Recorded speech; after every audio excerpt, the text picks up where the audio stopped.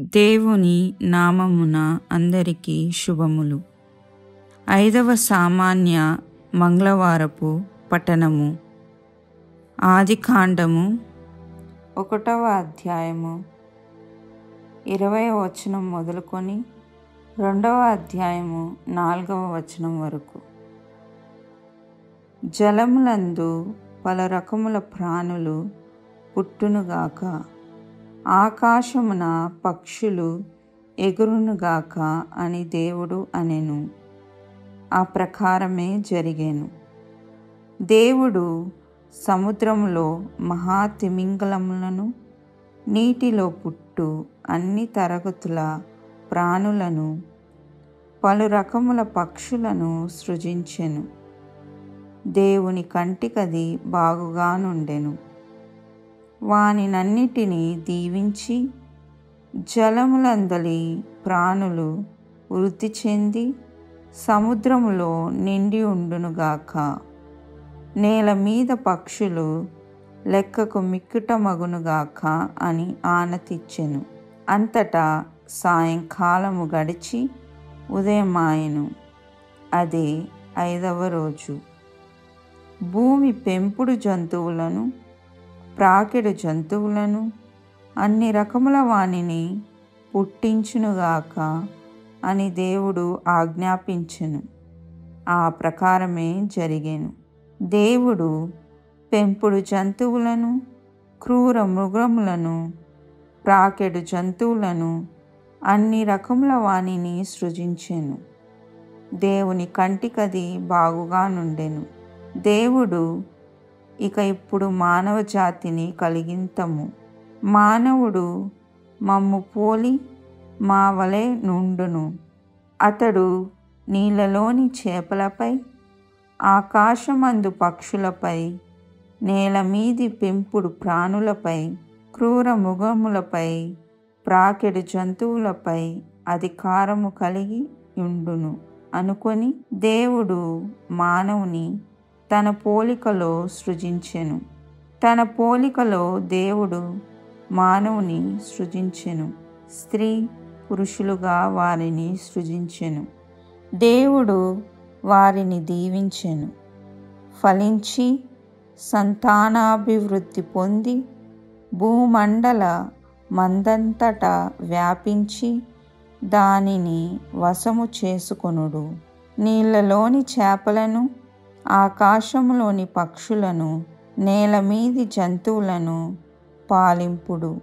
గింజలనిచ్చు మొక్కలన్నీ విత్తనములున్న పండ్లనిచ్చు చెట్లన్నీ మీకిచ్చి తిని అవి మీ ఆహారముగును. కానీ నేల మీది మృగములకు ఆకాశమందలి పక్షులకు నేల మీది ప్రాకెడు జంతువులకు జీవులన్నిటికీ పచ్చని మొక్కలు ఆహారమగును అని వారితో అనెను. ఆ ప్రకారమే జరిగెను. దేవుడు తాను చేసిన సృష్టినంతా చూచెను. ఆయన కంటికది చాలా బాగుగా నుండెను అదే ఆరవ రోజు. ఈ విధముగా ఆకాశము భూమి చరాచర జీవరాశులతో సంపూర్ణముగా రూపొందెను. ఏడవ నాడు దేవుడు తాను చేయుచున్న పనిని ముగించెను. ఆనాడు విశ్రాంతి పొందెను. సృష్టిని పూర్తి చేసి ఏడవ నాడు పనిని మానివేసెను. కావున దేవుడు ఆ రోజును దీవించి దానిని పవిత్ర దినముగా చేసెను. భూమ్యాకాశముల సృష్టి వృత్తాంతము ఇదే. దేవుడైన యావే భూమిని ఆకాశమును సృష్టించిన నాడు. ఇది ఏలిన వారి వాక్కు. సర్వేశ్వరునికి వందనములు. భక్తి కీర్తన.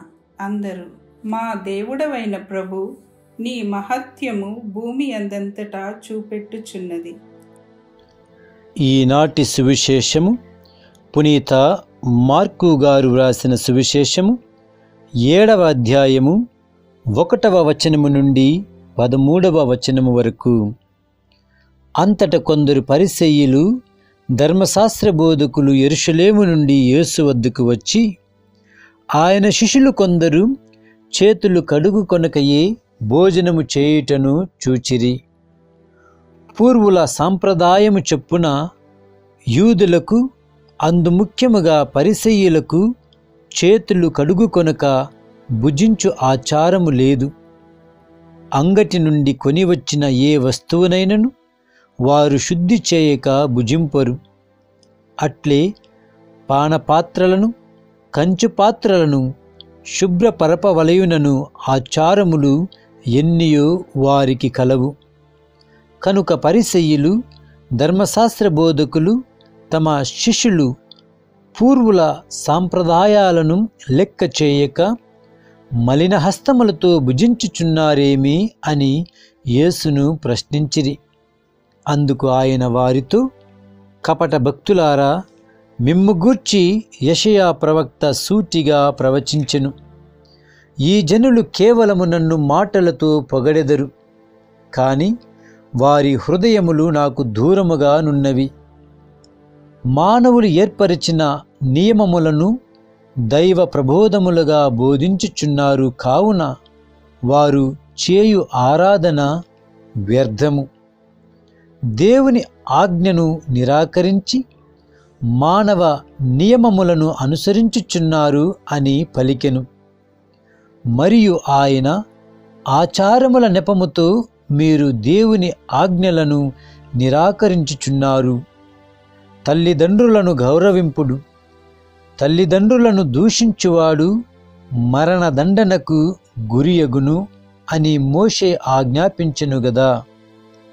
ఎవడేని తన తండ్రితో గాని తన తల్లితో గాని నా నుండి మీరు పొందవలసినది దైవార్పితమైనది అని చెప్పినచో అట్టివాడు తన తండ్రిని గాని తల్లిని గాని ఆదుకొను అవసరము లేదని మీరు బోధించుచున్నారు.